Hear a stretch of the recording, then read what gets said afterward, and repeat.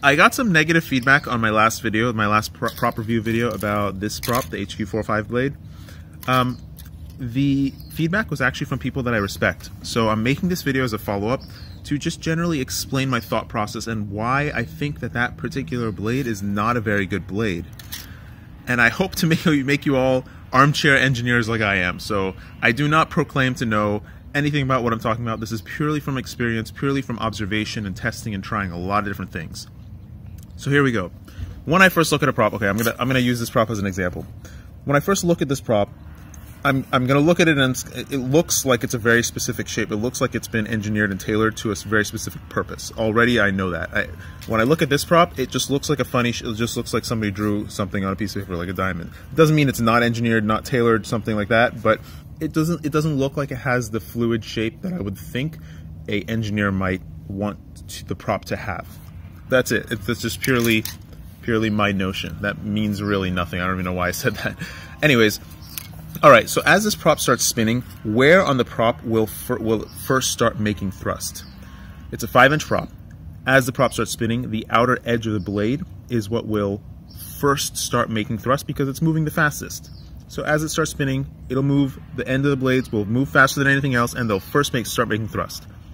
When I see a nice thin blade at the end, like a really thin profile, I know that the throttle onset of this prop is going to be really soft and it might not even be able to mm, do much at low RPMs. It's probably not going to make a lot of power at the low RPM.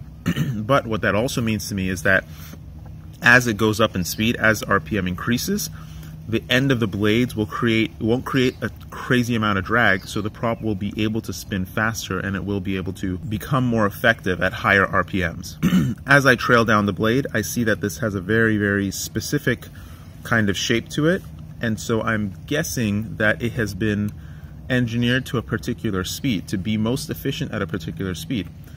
This is before I talked to the designer of this prop or knew anything about this prop. It has in fact been engineered to a speed of about 60 miles per hour. And what that means to me, which I haven't confirmed with him and I don't even know if this is true, is that at the spin rate required to achieve around 60 miles per hour, the majority of this blade is working all at the same time. So this scoop, this really aggressive, big, meaty scoop, has started to take effect at that RPM, and the whole blade throughout its taper is probably making relatively even thrust through like from the whole back end of the blade. That's what it means to me. The prop is probably going to be very efficient when the whole thing is working together. As you surpass that engineered speed, the prop ends will begin to create more drag because it's beyond the speed that they were intended to fly at. And the middle scoop will take over as well. It'll take over because it's big, meaty, and now it's spinning at the higher RPM that it needs in order to create the thrust that it would create. So the end of the end of the props are creating tons of drag, which you would like to chop off once you get to high RPMs, and the middle of the prop is creating tons of power and grunt, which is what you want.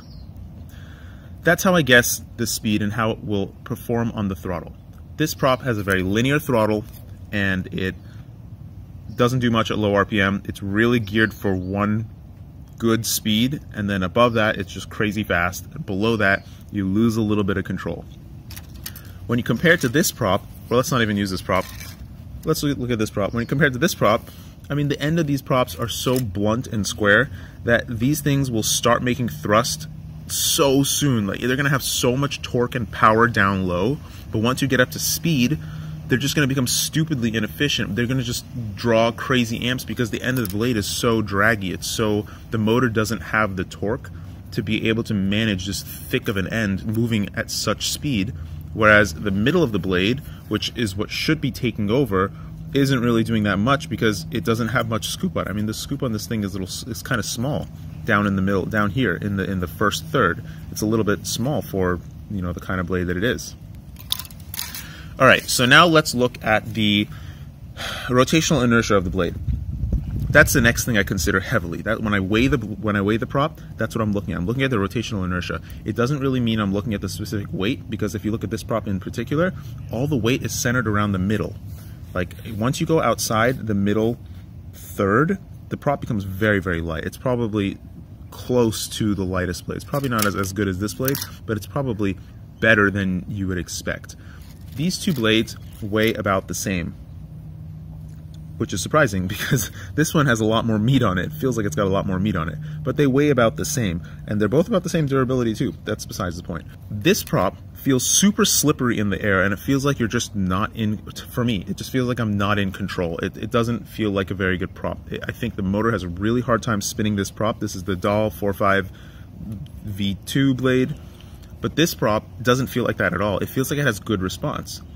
It's because, I'm guessing, the mass of the prop is in the middle and the rotational inertia of the prop is reasonable. It's not ridiculous.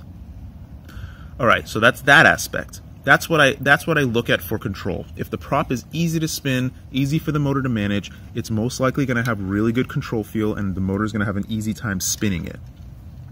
The thing that I look at for efficiency and noise profile is the end of the prop. And I say that because, okay, so remember back in the day when we were all flying this prop, which was, this is a chopped version, but it's a, it's a six inch prop, six by four, five prop, chopped to five inches. I, I mean, I don't know if you guys remember, but I don't know if you guys were even flying back then, but this is the worst efficiency prop imaginable. These square tips are just terrible. And that was the original tri-blade 4.5 that DAL made. They made it square tip like this, and if you have been flying that long and you remember that prop was the, the worst prop the worst prop made because it was so stupidly inefficient. You couldn't move. it had crazy torque and crazy power down low but it would just it would destroy your batteries totally. So this is what DAL did. Not DAL Gemfan I think Gemfan actually was the first to do this. They just curved I mean it's this it's exactly the same blade. This is this is the same prop. This is a 6x45 HQ blade that has I think it's HQ blade, that has been squared at the end. There's nothing new or special about this blade aside from the square end. I mean, the, the rounded end. And this made the prop significantly better. I mean, this is a really slight round. This is such a minor curve, but it made the prop way more efficient. It made it tolerable, made it capable to the point where people still prefer this. A lot of people like this prop a lot. Conrad particularly loves this prop. I think it's a terrible prop. He likes it. It's great. There's another thing to note. All props work. Everything works. Whatever works for you, keep using it. Don't let me tell you it's bad. Don't let anybody tell you it's bad. Anything wrong with it. But let's look at some other things. So these two blades, these this is the Cyclone blade, this is the RaceKraft blade. These are two engineered blades. And you will note that both of them have very interesting prop tips. The tip of these are all sharp and they look like they're curved and they have some artistic qualities to them. Why is that? Well, it's because it's it's managing the vortex, vortexes coming off the end of the blade. So what what does that even mean? As this prop washes, let's use this one because it's easier to see. As this prop washes through the air when it spins, the air isn't just the, the prop isn't just making thrust blowing straight down. It's it's has a has a force where it's blowing the air away like a outerward, outerwards, a centrifugal force blowing the, the air outwards too. So it's a vortex of air coming, not vortex, it's a cone of air coming down and away from the prop. So as this blade tip cruises through the air, you not only get air blowing straight into it, so you get high pressure underneath and low pressure on top, but you also get this kind of air washing over the side, washing outwards over it too. When you have a square tip like this, all of that air, the high pressure and the low pressure, wash off the side and meet at the same time all of a sudden. Like, all of a sudden. It's like jumping in a pool. It just goes whoosh. What that does, it creates a ton of vortex drag at the end of the blade, makes it really hard to spin through the air at high RPM, and it just kills the efficiency of the blade in general because you have all this turbulence at the end of the blade that's just not good when you do things like just just curve just curve the tip a little bit it doesn't quite all wash off at the same time. You get a little bit of distribution of that vortex off the end and then the vortex trail comes off the tip of it.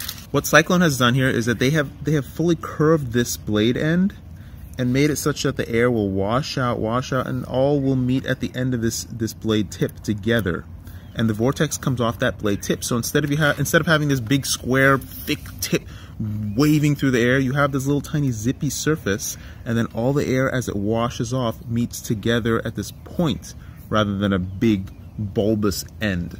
RaceKraft has taken even more of a highly engineered approach.